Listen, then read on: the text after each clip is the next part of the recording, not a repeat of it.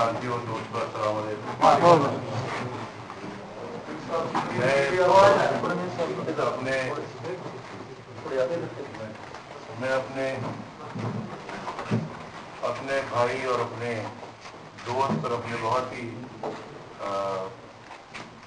उमदा साथी जनाब पीर मोहम्मद साबिर शाह साहब की वालदा मोहतरमा इनकी हमशीरा साहबा की वफात पर बातें खानी और दुआ के लिए हाजिर हुआ और प्रोग्राम पहले भी बना, लेकिन साहब ने बताया कि किन हालात की वजह से भी हुआ। तो मेरी दुआ है, अल्लाह ताला इनकी वालदा वालदा मोहतरमा शीरा साहबा, मरहुमा को जन्नतफरदौस में आला मकाम अता फरमाए। उनके दर्जात को बुलंद फरमाए। और इन सबको पीर साहब को सब घर वालों को खैर बरकत की ज़िंदगी अता फरमाए। और अल्लाह ताला आप सबकी भी खैर फरमाए। मैं जितने भी लोग मौजूद हैं उनको भी उनके अहले ख़ानदान को भी अल्लाह ताला खैर बरकत और खुशियों भरी ज़िंदगी अता फरमाए।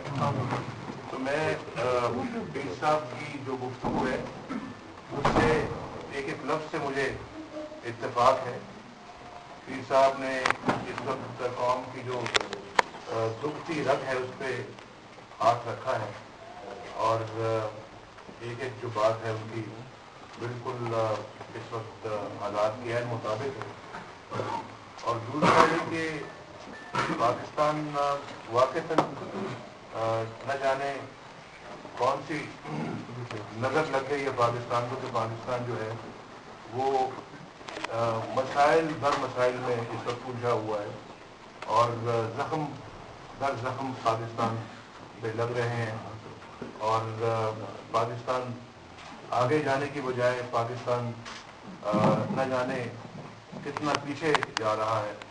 ये सब बहुत अफसोस कन अफसोसनाक सूरत हाल है और कौम ने इस सूरत हाल से इस मुल्क को बाहर निकालना है। इस वक्त मजमू तौर पर पाकिस्तान की जो हालत है वो आप दुनिया के हवाले से देख लें अंदरूनी हवाले से देख लें जो अंदरूनी हालात है उनके हवाले से देखें जो बैरूनी हालात हैं हमारे उसके हवाले से देखें।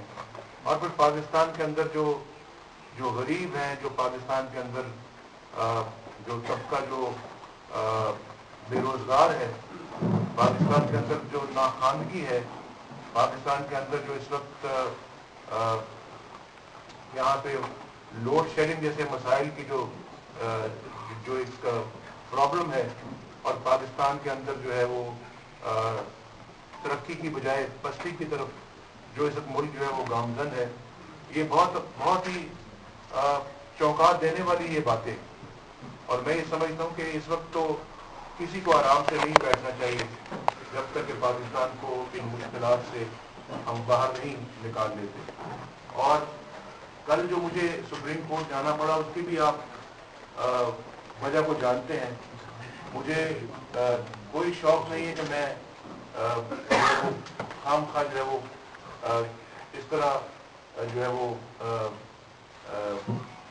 किसी के खिलाफ कोई दरखास्त लेके जाऊँ। लेकिन ये मैं किसी के खिलाफ कोई दरखास्त लेके नहीं गया। ये पाकिस्तान के साथ एक बहुत घनावनी साजिश हो रही है। उस साजिश को बेनकाब करने के लिए और कौन कौन से उसके प्लेयर्स हैं उस साजिश के कौन लोग हैं जो उसके उसमें मुलविस हैं? और किन लोगों ने पाकिस्तान को जो है वो इस तरह से, इस तरह की सूरत हाल से विचार करने के लिए ये कदम उठाया है? मैं समझता हूँ सब जो लोगों के चेहरे कौम के सामने आने चाहिए। और मैं ये समझता हूँ कि मेरा ये कौमी फ़र्ज़ था। इसके नतीजे में मुझे वजारत उजमानी मिल जाएगी। इसके नतीजे में मैं कोई पाकिस्तान की इस वक्त पाकिस्तान में जो इस हुकूमत के बाद को अपनी हुकूमत इन हालात में मैं नहीं बना रहा।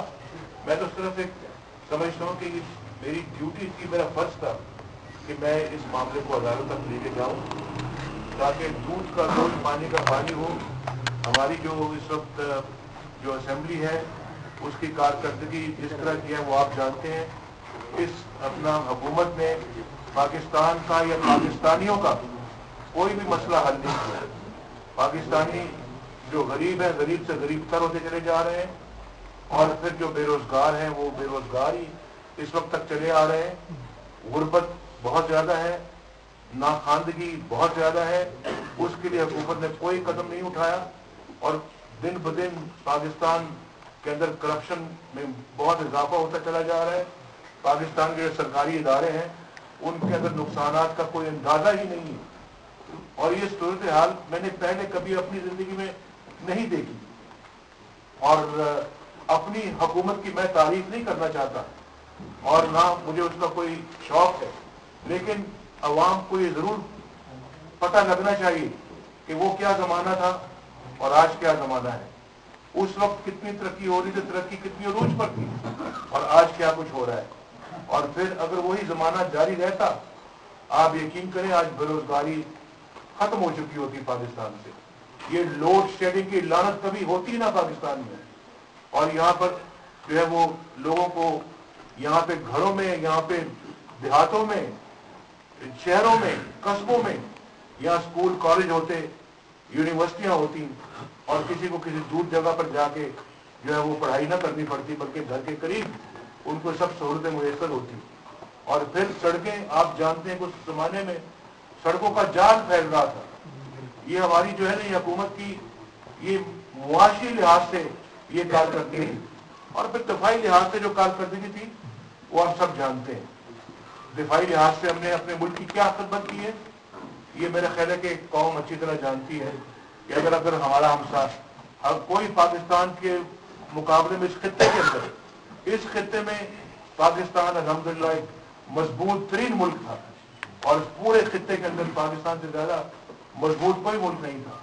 ये आप जानते हैं, अच्छी तरह जानते हैं। मैं बार बार वो वाकयात को दोहराना नहीं चाहता।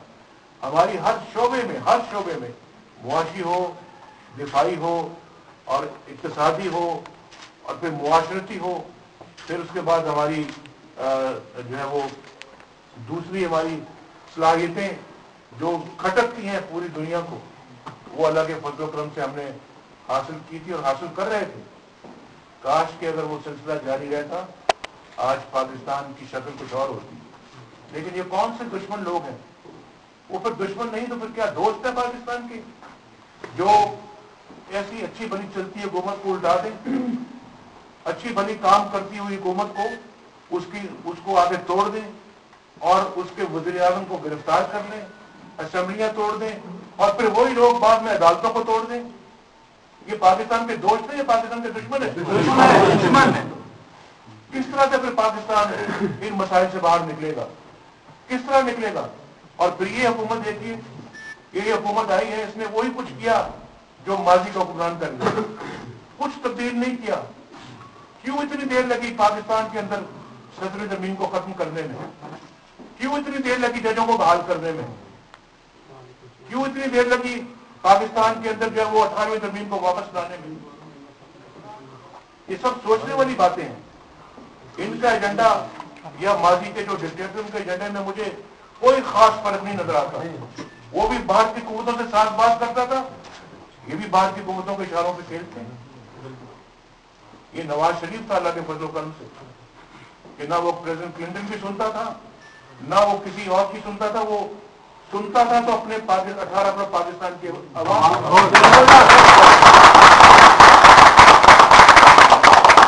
और वो करके दिखाया, साबित किया, जुबानी कलामी यहाँ पे ये दावे नहीं हो रहे। करके दिखाया। करके दिखाया, आप जानते हैं क्या करके दिखाया। जिसके नतीजे में फिर हमारे हमसाए खुद चलकर पाकिस्तान आए। सुलह करने के लिए आए कि आए बैठे आए दोस्ती के कागज़ पे दस्तखत करते हैं याद है ये नहीं याद है आपको सब? जी। भारत हम समझते हैं कि पाकिस्तान के साथ बहुत ज्यादती हो रही है। सत्रह करोड़ अवाम पाकिस्तान के जो है इसका खमियाजा भुगत रहे हैं और हमें मिलकर पाकिस्तान को इन मसाइल से निकालना है। और फिर यहाँ पर नए नए लोग भी आए हैं। वो आवाम को नई नई बातें बता रहे हैं। कहानियाँ सुना रहे हैं। वो कहानियाँ सुना रहे हैं जो हम कर हमने कर दी थी। वो यहाँ पे बात करते हैं। और मैंने आपसे वहाँ वहाँ बात की है फैसलाबाद के अंदर भी। वो कहते हैं हम सबस पासपोर्ट की इज़्ज़त करवाएँगे। कहा कि नहीं कहा? जब एटमी धमाके हुए थे तो क्या उस दिन सबस पासपोर्ट की इज़्ज़त हुई थी या नहीं हुई? थी सबस खिलाड़ी परचम की इज़्ज़त हुई थी नहीं हुई? हम तो सब कुछ करके दिखा गए वो तो पता नहीं कब करेंगे। बहरल मैं तो जी वाजपेयी साहब आए। उन्होंने कहा जनाब आए आएगी कश्मीर के मसले को भी एक साल में हल करते हैं। एक साल में उन्होंने कहा हम हल करते हैं। वाजपेयी साहब के अल्फाज थे। और यहाँ कहने वाले कहते हैं कश्मीर के मसले को दस साल के लिए बैक बर्नर पे डाल दो। यानी बैक बर्नर को कहेंगे, पीछे पीछे कोल्ड स्टोरेज में डाल दें। कोल्ड स्टोरेज डाल, बाकी बाकी काम करें। अच्छी पाकिस्तान के, ये कश्मीर के मसले को हल करने वाले ये लोग हैं, कि पाकिस्तान के मफाद की इस तरह से बात की जाती है। तो खुद हिंदुस्तान तो ये बात कह नहीं रहा, आप कह रहे हैं। सोचें, गौर करें, फिर नतीजा अकस करें। तो मैं अभी ये मीडिया से बात करी मीडिया से बात ठीक है जी काफ़ी है। अंदर तो नहीं है। इधर क्या कर रहे हैं?